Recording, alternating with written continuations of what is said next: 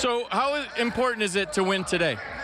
Uh, I think that's uh, really important to uh, go to the next level. Um, next round is uh, really important for us, and just we just got to go there and win. How much will you be helping Pedro Severino out today, or is he just is he got it? He's good. He's good. Uh, we talk a lot before the game and every day during the game, so he got an idea what what, what he's gonna do there. So he's he's okay. And what's the game plan against Kershaw today? Uh, get hits and score run. Did you tell Pedro he's got to hit a three-run home run today? Uh, well, I, I told him like he just got to win the game. So I, I don't care if he got 0 for 4. I don't care if he got 3 for 3, 4 for 4, 4 homers. I just want to win the game. All right, man. Good luck, Jose. Thank you.